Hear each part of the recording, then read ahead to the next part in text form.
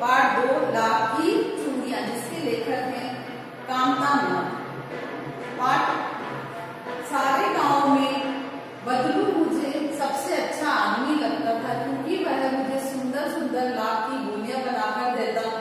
मुझे अपने मामा के गाँव जाने का सबसे बड़ा चाल यही था कि जब मैं वहाँ से लौटता तो मेरे पास ढेर सारी गोलियाँ होती, रंग मोह लेती थी यानी इस लेखक है कामता नाथ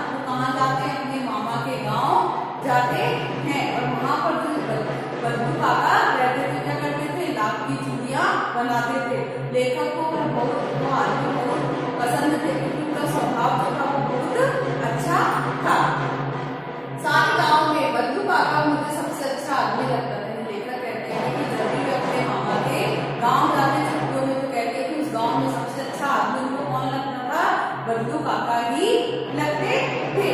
क्यों लगते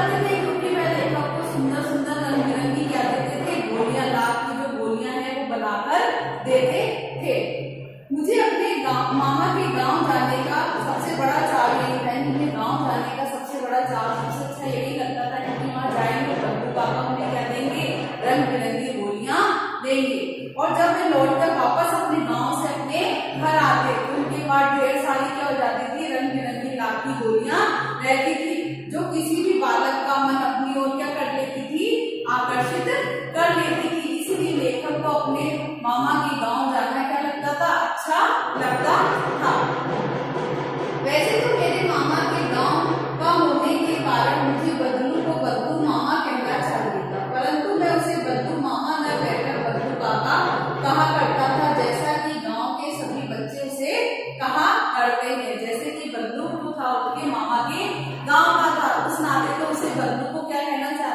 ये था बद्दू मामा कहना चाहिए था, लेकिन फिर उसने क्या कहकर बुलाता था? बद्दू काका कहकर बुलाता था, जैसा कि गाँव के सभी बच्चे उन्हें बद्दू काका कहते थे तो लेखक भी उन्हें बद्दू काका कहकर ही बुलाता था।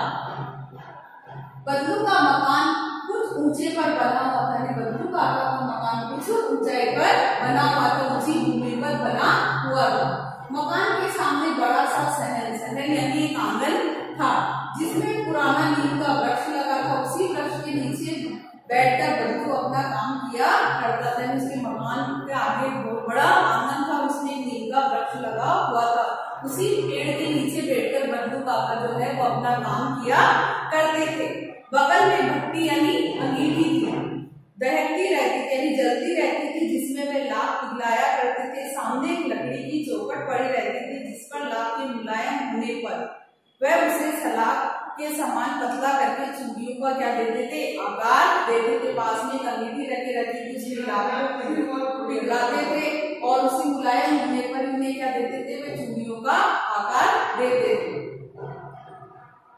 पास में चार छह भिन्न आकार की बेलन नुमा मुंगेरियाँ रखी रहती थी जो आगे पीछे से कुछ पतली और कुछ मोटी होती थी। लकड़ी की रहती थी जिसमें लाख को लपेट कर किसका आकार दिया जाता था चूड़ियों का आकार दिया जाता था।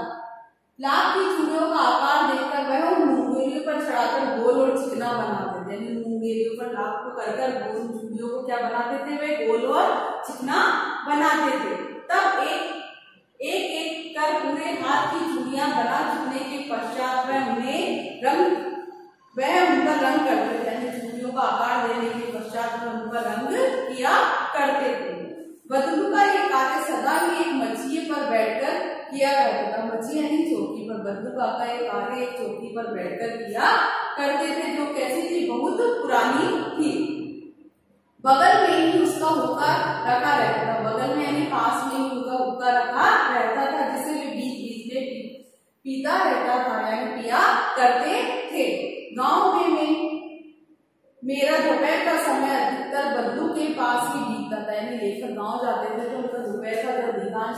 वो किसके पास बीतता था बद्दू काका के पास ही वो बिताते थे। वह मुझे लल्ला कहा करते थे और मेरे पहुँचते ही मेरे लिए तुरंत एक मछिया मंगा देते थे। मैं घंटों बैठे बैठे उसे इस प्रकार चूड़िया बनाते देखता रहता। लगभग रोज ही वह चार छह जोड़े चूड़ियाँ बनाते।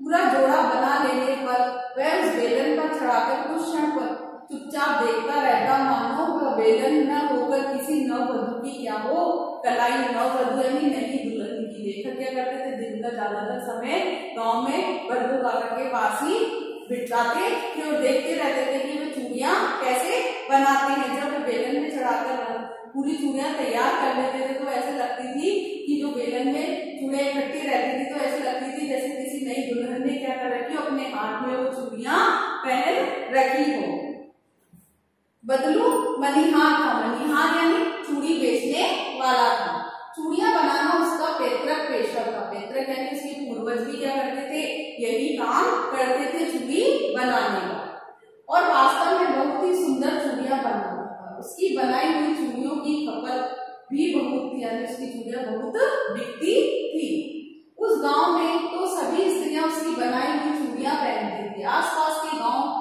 के लोग भी उससे चूड़ियाँ ले जाते थे।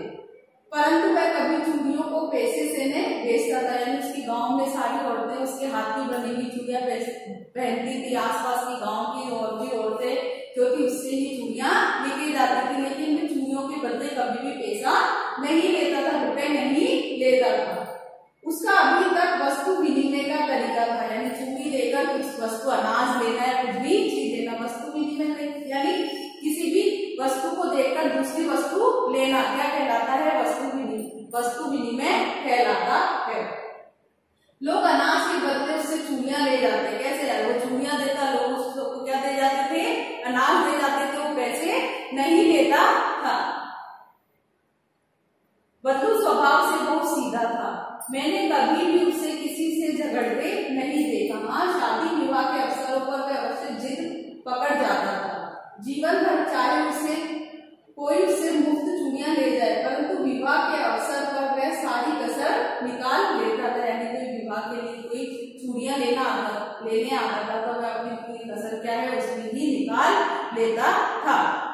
आखिर सुहाग के जोड़े का महत्व और ही होता है यानी सुहाग की चूड़ियों का अपना ही क्या होता है?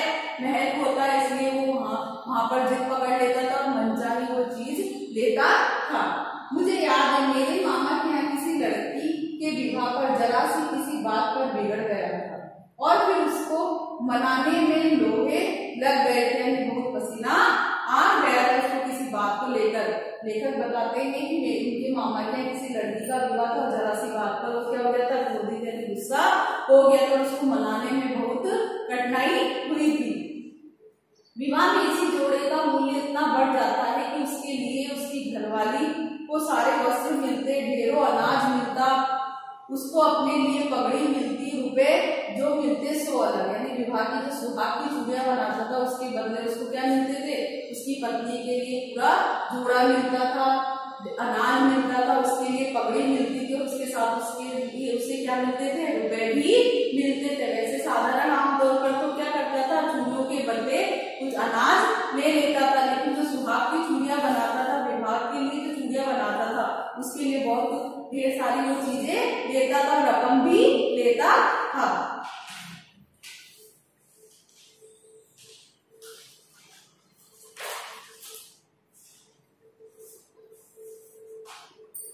यदि संसार में बदलू को किसी बात से चिड़ थी तो वह थी कांच की चूड़ियों से। संसार में यदि बदलू किसी से चिड़ता था तो केवल किससे चिड़ता था? कांच की बनी हुई चूड़ियों से।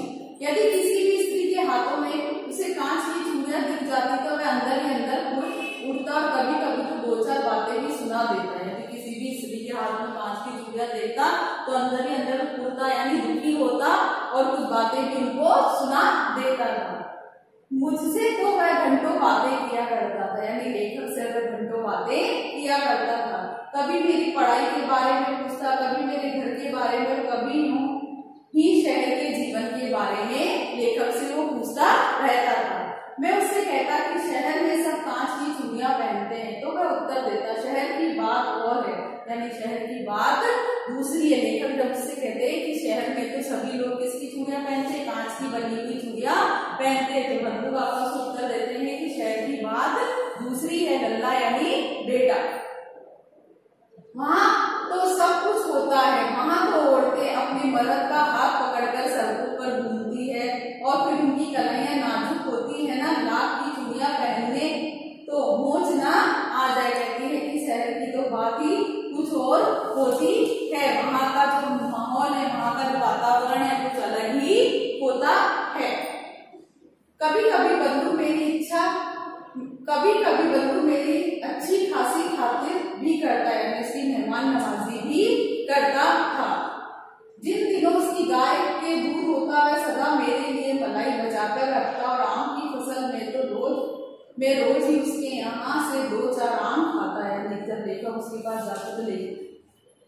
बंधु काका लेकर के बहुत अच्छी खातिरदारी करते थे। गाय के दूध की, मलाई बचाकर उसको देते थे उसके यहाँ आम होते थे रोज उसको दो चार आम ही दिया करते थे।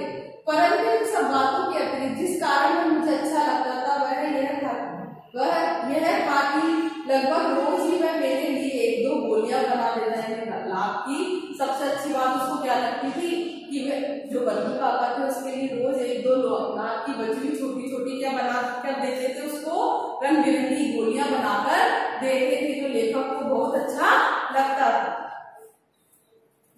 मैं बहुधा हर गर्मी की छुट्टी में अपने मामा के यहाँ चला जाता था। बहुधा यानी ज़्यादातर अधिक बार मैं ज़्यादातर गर्मी की छुट्टी में कहा चल लेखक कहते हैं कि मैं ज़्यादातर छुट्टियों में अपने मामा के गाँव चला जाता था एक आध महीने वहाँ रहकर स्कूल खुलने के समय तक वापस आ जाता परंतु दो तीन बार में मैं अपने मामा के यहाँ गया हूँ। तभी मेरे पिता की एक दूर शहर में बदली हो गई है।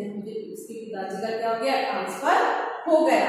और एक लंबी अवधि तक मैं अपने मामा के गाँव में जा सका यानी एक लंबे जब उसके पापा का ट्रांसफ़र उसके पिताजी का ट्रांसफ़र दूसरी जगह हो गया तो एक बहुत समय तक, बहुत लंबे समय तक अपने मामा के गाँव में ही जा सका। पहले वो ज़्यादातर गर्मी की छुट्टी अपने मामा के गाँव में ही बिताते थे।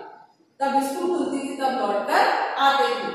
तब लगभग आठ दस वर्षों के बाद जब मैं वहाँ गया तो इतना बड़ा हो चुका था कि लाख की गोलियों में मेरी रुचि नहीं रह गई। अतः गाँव में होते हुए भी कई दिनों तक मुझे बंदूक का ध्यान न आया यानी गाँव बहुत दिनों बाद गए जब वो बहुत बड़े हो चुके थे, यानी आठ दस वर्ष बाद वो गाँव गए। तब वहाँ गए और उन्हें किसका याद नहीं रहा? बंधु का याद नहीं रहा। बंधु का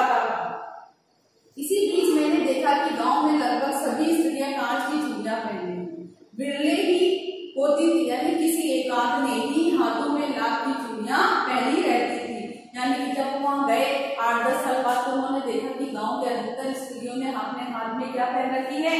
कांच की चूड़ियाँ पहन रखी कोई एक आधी स्त्री होगी जिन्होंने केवल लाख की बनी हुई चूड़ियाँ पहनी हुई है।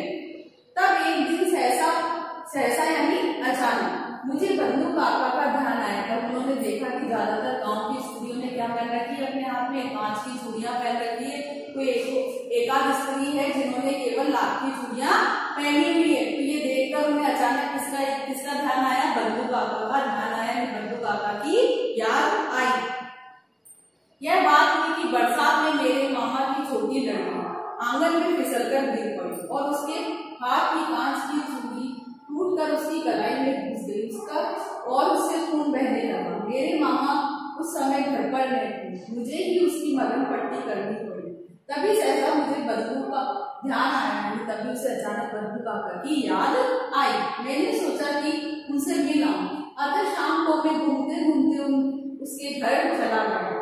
बदलू वही चबूतरे पर नीम के नीचे एक खाट पर लेटा हुआ था।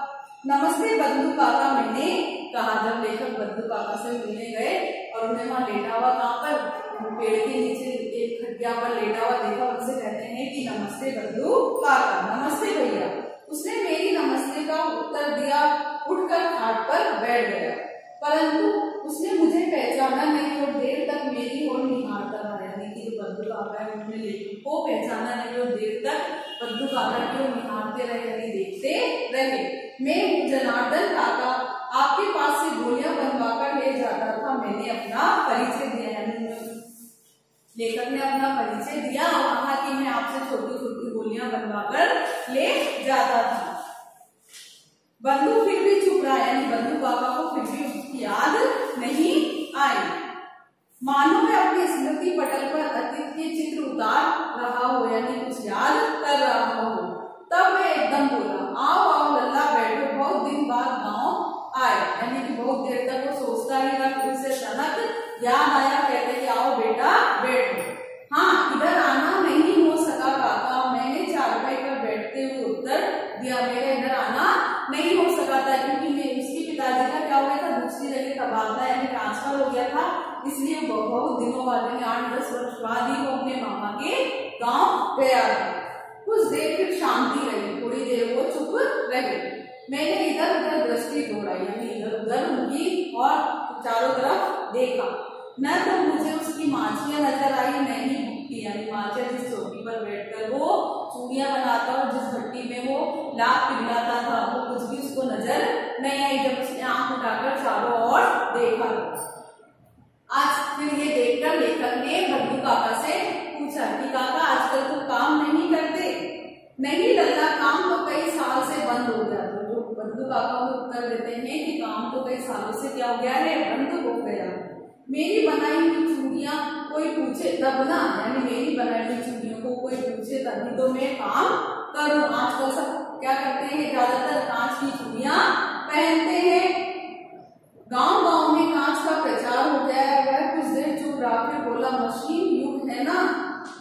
मशीन युग है ना ये लल्ला आजकल सब मशीन, काम मशीन से होता है। खेत भी मशीन से जोते जाते हैं, फिर जो सुंदरता कांच की चूड़ियों में होती है, वह लाभ में कहा संभव? लेकिन कांच बड़ा खतरनाक होता है, बड़े जल्दी टूट जाता है। मैंने कहा